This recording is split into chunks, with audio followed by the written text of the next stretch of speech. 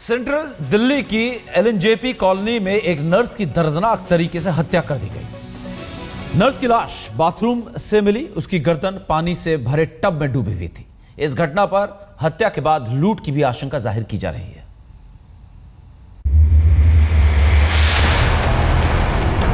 शनिवार रात LNJP colony के स्टाफ क्वार्टर्स में उस वक्त सनसनी फैल गई, जब एक नर्स की निर्वस्त्र लाश पानी के टब में डूबी मिली। नर्स हरियाणा के जिला सोनीपत के खरखोदा की रहने वाली थी। उन्नीस से एलएनजेपी अस्पताल में नर्स थी। ये अपने पति से तकरीबन 9 साल से अलग रह रही थी और अकेली ही इस सरकारी क्वार्टर में रहती थी।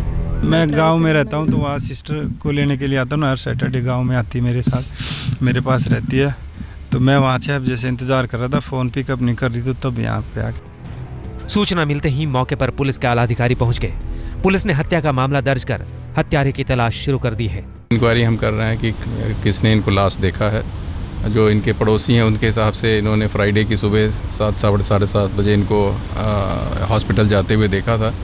और आ, उसके बाद हम बाकी इंक्वायरी कर रहे हैं हॉस्पिटल में किससे कब निकली हैं और यहाँ पे किसने उनको लाश देखा है वो उसको लोकेट करने की कोशिश कर रहे हैं। इस पर हमने मर्डर का मुकदमा हम दर्ज कर रहे हैं और इन्वेस्टिगेशन शुरू कर रहे हैं। हर शनिवार को नर्स अपने घर जाती थी लेकिन इस बार नहीं गई घर वालों ने संपर्क किया तो फ़ोन भी नहीं उठाया।